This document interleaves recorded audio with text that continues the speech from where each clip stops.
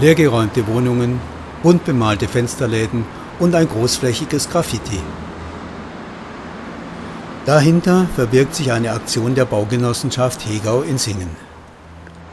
Ein Abbruchwohnblock mit 36 Wohnungen steht Kunstschaffenden vier Wochen lang zur freien Verfügung.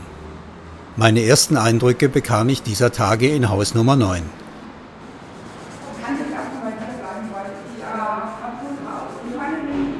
Sabine hat sich gleich für zwei Räume beworben und ist bereits fleißig am Werk.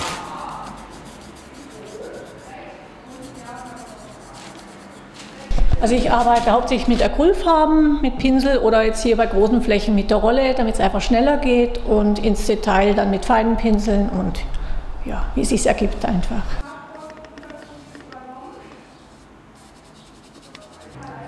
In der Nachbarwohnung ist Silke an ihrem Werk zugange. Und was wie Renovierungsarbeiten ausschaut, ist bereits Teil des Kunstwerkes. Ja, also die Tapete musste runter, weil ich ähm, ziemlich sicher bin, bei allem, was auf die Tapete sonst gekommen wäre, wäre die Tapete mit allem, was drauf ist, runtergekommen. Im Runterkratzen kam, also mir angeregt durch Herrn Lichter die Idee, oh, Teil lassen wir doch hängen.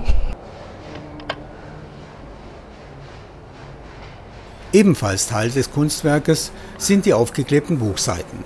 Ich arbeite ganz viel mit alten Buchseiten. Ähm, entweder direkt auf die alte Buchseite oder ich benutze sie als äh, Hintergrund, wo da noch Lagen drüber kommen. Vier Wochen stehen den Künstlern für die Realisierung ihrer Werke zur Verfügung.